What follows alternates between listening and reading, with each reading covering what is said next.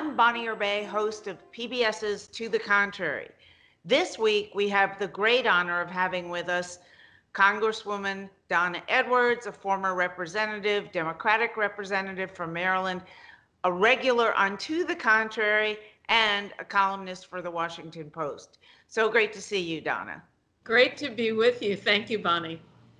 There are so many things we want to talk to you about, Donna. Um, first of all, let's start with all the violence and protests and the death of George Floyd and all the uh, horrible things that have been happening in the last week or two. Um, violence. Is this the way the president should have been dealing with violent protests? Well, you know, first of all, let's start with you know, describing it was the murder of George Floyd. We all watched that nine minutes. And I think that unfortunately, we have a president of the United States. We know that he has not had the capacity to be empathetic in so many other circumstances over his tenure. Um, but particularly in this moment, we need a president who's able to offer a healing voice to the American people and particularly to speak to uh, African American people about the racism that um, leads to uh, an officer piercing his knee into the neck of George Floyd. And this president is completely incapable of doing that. And in fact, he's used his bully pulpit to be more of a bully and to incite, um, I think, additional violence. And um, to raise the temperature when he should be a president who is lowering the temperature. It's really shameful. Um, do you think these all these episodes? I mean, obviously Michael Brown was, I guess, before Trump was president, so it's not as if police brutality against African Americans is a new thing. Unfortunately, we were all hoping with Michael Brown, or even before that, that it would have ended, but it keeps on going. But in some way, is President Trump responsible for the murder of George Floyd? Well, I mean, it, you know, keep in mind that just in the couple of months before George Floyd was murdered, uh, Breonna Taylor uh, down in Louisville was murdered when police on a no-knock warrant bust into her burst into her apartment and she, you know, was shot eight times uh, in her night clothes. Um, it is, you know, not police violence, but um, people who've been given license to act as vigilantes, uh, chasing down Arbery, uh, Ahmaud Arbery um, in Brunswick County down in Georgia. I mean, and so um, this litany of either people acting like vigilantes and you know doing things like weaponizing 911 to make calls on black people and and law enforcement of course you know engaged in their uh, tactics um, against black people men and women um, it's been too much of a string. And i think that what happened is that george floyd's murder and the way that we could see that and feel that and him calling out to his dead mother um, to try to save him um, it was just so heart wrenching that I think it is, has brought this really um, to this, you know, moment that really calls for presidential and political leadership to address these questions so that we can deal with the deep systemic racist, uh, racism that happens in this country. And the president of the United States, I have to say, he fuels this. I mean, we can think back to his words in Charlottesville, both you know, good people on both sides. I mean, we can think back to him, uh, even in his language the other day, as he threatened the use of uh, the military against Americans, uh, talking about the Second Amendment. I mean, these are all signals that the president uses. And I believe that, uh, you know, it's designed to incite, you know, these confrontations around around race. And believe me, I do not think it is an accident on his part. Well, not only not only threatened to use the military against American citizens who are exercising their constitutional rights to voice their opinion about things, and obviously there are professional looters in those groups who are go, who are doing way worse than that, who are criminals and should be arrested by the police. But it, the the bulk of the crowd, especially that was tear gassed, was walking peacefully by the White House with signs. I mean, that's all they were doing. And then the helicopter that descended on the crowd. I mean, this this has not the posse comitatus um, act has not been invoked since I believe it was I, the Eisenhower administration. Is is that is there anything Congress can do in response to this or should do? And is that the correct behavior for a president overseeing a country torn apart by race, really, and and you know all civil rights issues at the moment? Well, you know, I think if we were if we were writing about human rights violations in another country um, run by an authoritarian government, um, we could have been writing about what happened in multiple cities across this country, and certainly what happened within the purview of the White House um, at Lafayette uh, Lafayette Park. And I have demonstrated many times. I can't even count the number of times at Lafayette Park, and I have never seen anything like that. And the, the crowd that was there was a peaceful crowd.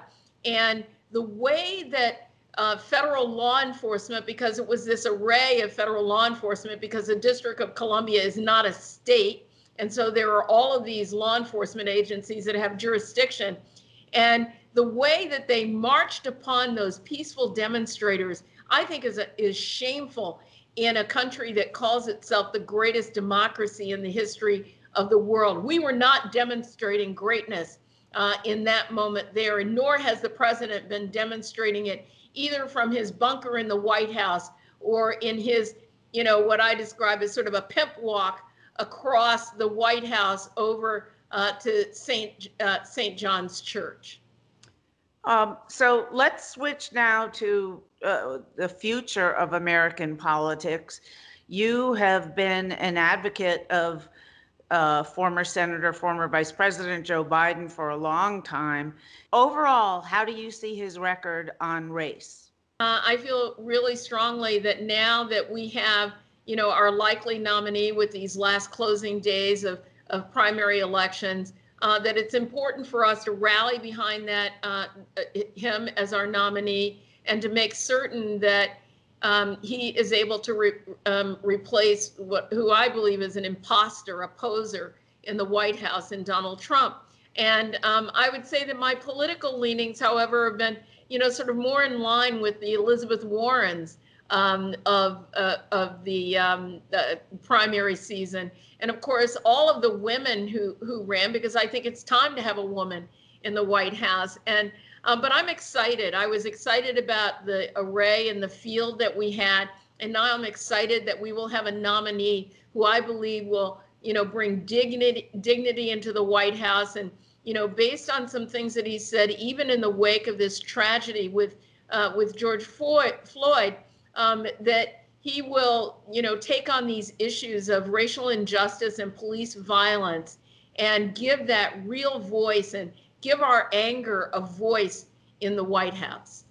Give it a voice and do what to placate? What can the president do to stop, or any president can do to stop police violence against Black people? This is generally speaking a city and state law matter, not a federal law matter. Well, let's be clear. I mean, um, these uh, law enforcement agencies, state agencies, local agencies, um, uh, uh, cities receive an awful lot of federal support.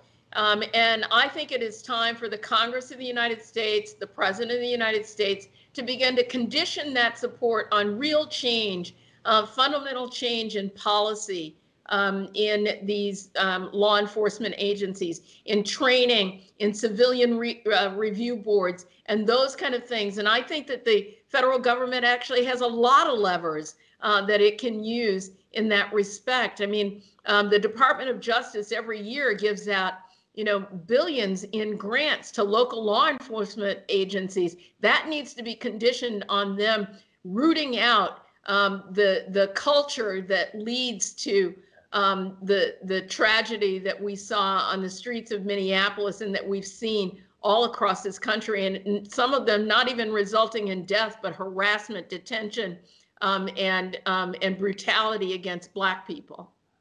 Do you think this nation can can get there? I mean, when I, when I see these things happen, and I've read so much of history of the Civil War, and it seems to me that certain people still think it's you know pre-war times that they're allowed to literally get away with murder as long as they murder a black person. Um, it, it just is amazing to somebody who who's standing back and watching these things evolve that this is still happening in our country in this time. So what do you think what do you think the reality is about stopping it or the real prospects I should say of stopping it and getting beyond racial problems. Is is it ever going to happen? Well, it's a long road, but I will say one of the things that's actually been deeply gratifying in watching um, the news coverage of crowds, you know, all across this country has been how multiracial um, these crowds are, how multi generational these crowds are, and so that tells me that there are uh, that you know there are many Americans black, white, Latino, Asian, you know, across the board who believe that we should be behaving differently and that we should have different expectations of law enforcement. And so that is actually gratifying because I do believe that it is a small cadre of the American people who still harbor uh, these racist beliefs that you know have come from four you know 400 years of enslavement through Jim Crow through the modern civil rights movement. And somehow they want that all all back. And i don't believe that they are a majority and we have to stand up and fight against them. And you know i do and, and so i am hopeful bonnie in that respect but i don't think that this is going to be easy and i also think it means that we can't be complacent anymore and that white people have to start talking to white people about their racism and calling it out when you hear somebody saying something that's untoward because they're in a safe, comfortable group. Don't let that go unchallenged because those are ways that we really we can fight back against this deeply embedded culture that has been with us since uh, Africans first came to this continent and were enslaved.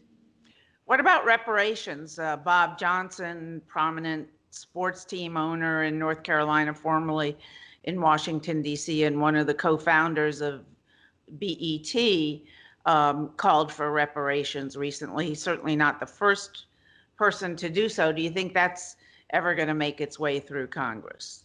I, I don't know about that, but what I do think is that ideas like that about how to um, restore, you know, dignity and economy uh, to Black people um, is a conversation that's worth having in the Congress and in the White House, and that um, it could be that that takes many different uh, different forms.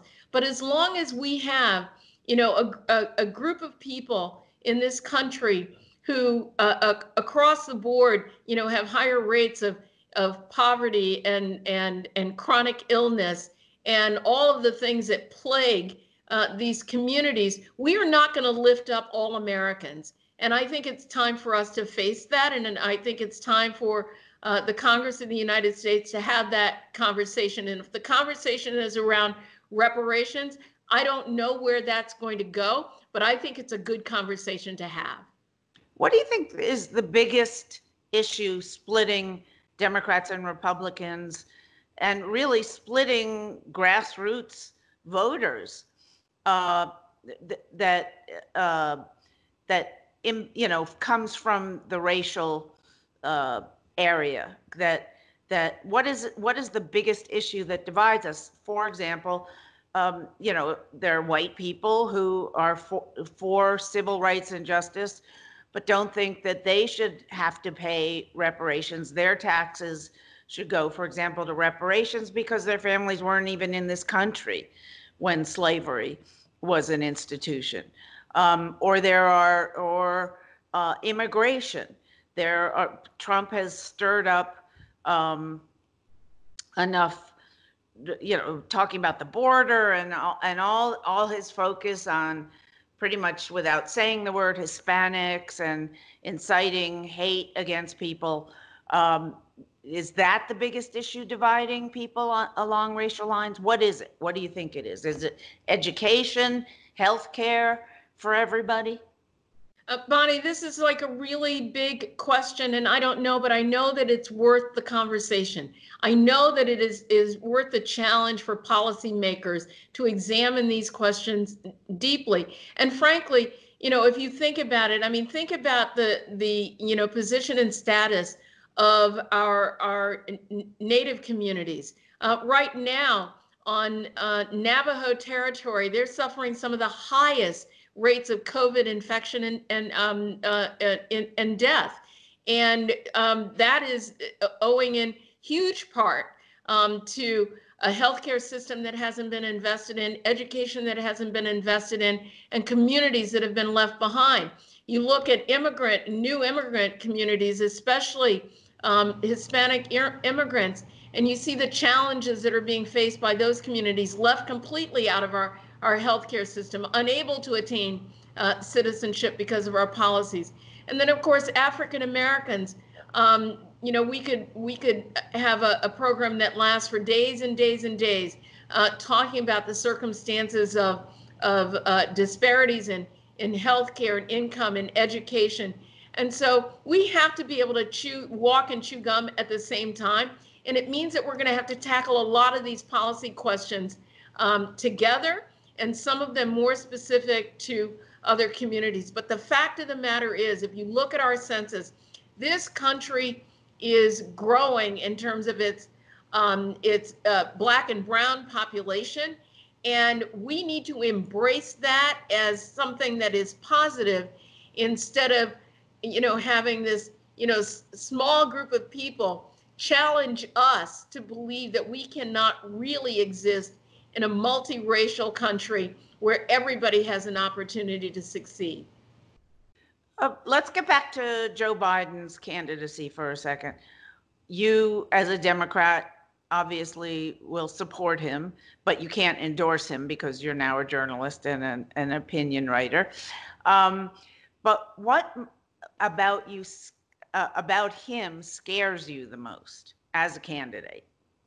Well, I mean, look, I think that um, his choice of the next uh, of his vice president, I think, is uh, an important one, different in some ways from choices that other um, presidential nominees have had to make. Uh, somebody who could be president, as I say, yesterday.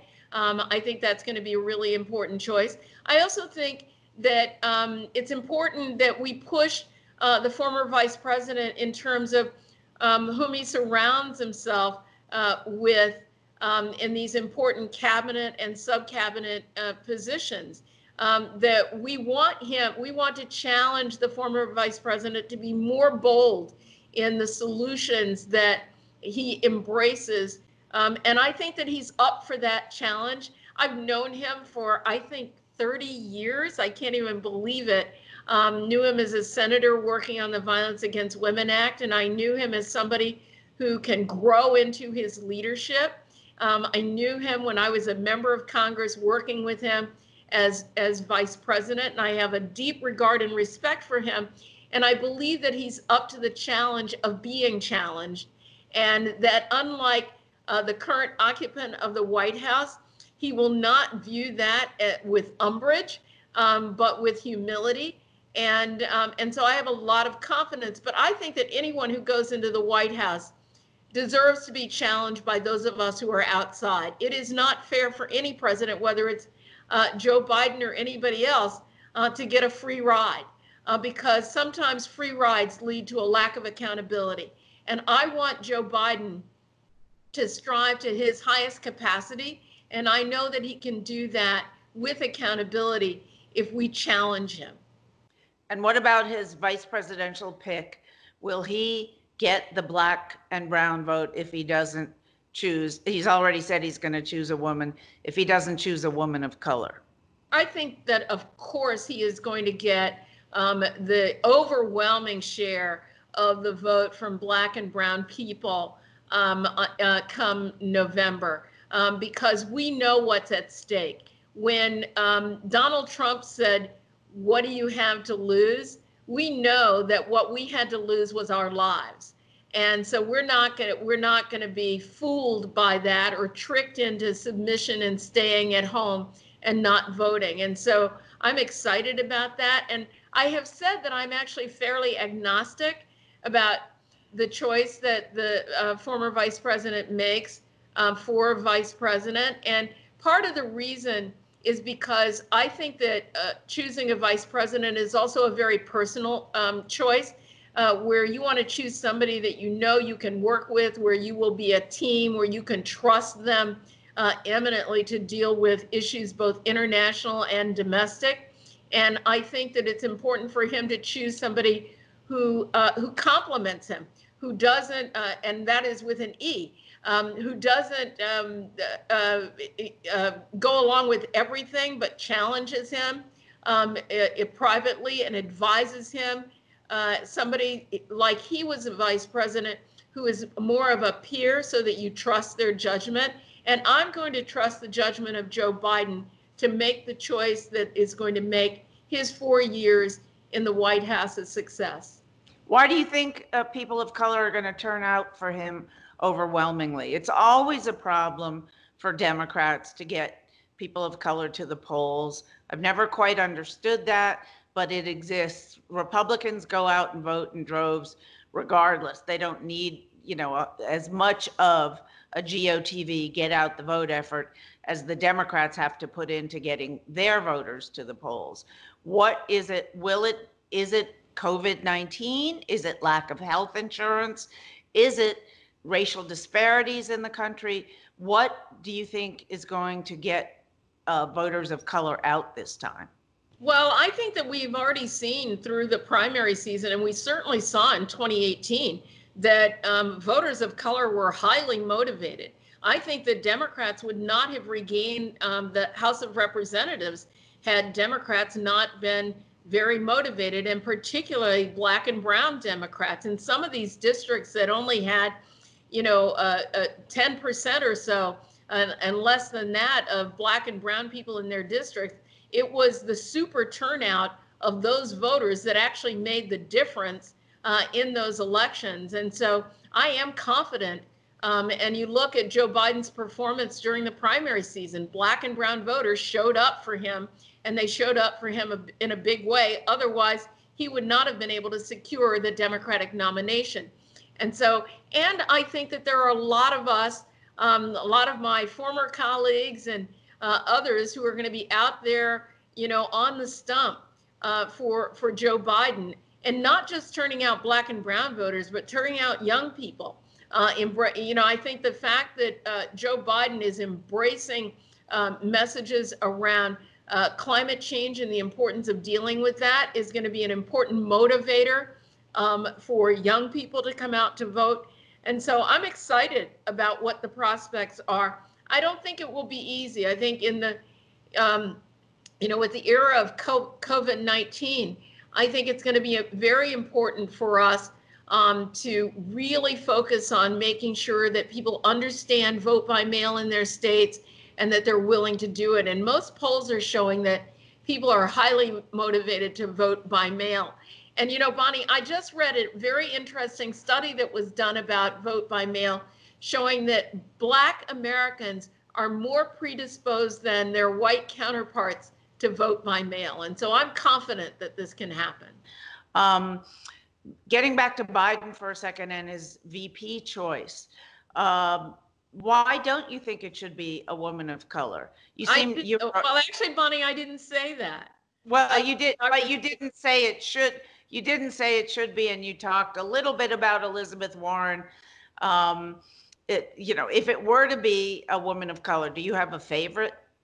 I think it would be fabulous if uh, Joe Biden chooses a woman of color, but I don't think it is absolutely necessary. And I'll be excited uh, to do what I can to make sure um, that we have a president in the White House who has respect for the American people and wants all of us to be included in its future. Thank you so much, Donna Edwards, a former representative, U.S. representative from Maryland, current, uh, currently op-ed uh, writer for the Washington Post and regular on, on NBC, MSNBC. Thank you so much for your time. We really appreciate seeing you. And that's it for this edition. Please uh, join us next week and in between, please follow us on social media, Facebook, Instagram, etc. And uh, please join or look at rather our PBS website at pbs.org slash to the contrary. And whether you agree or think to the contrary, please join us next week.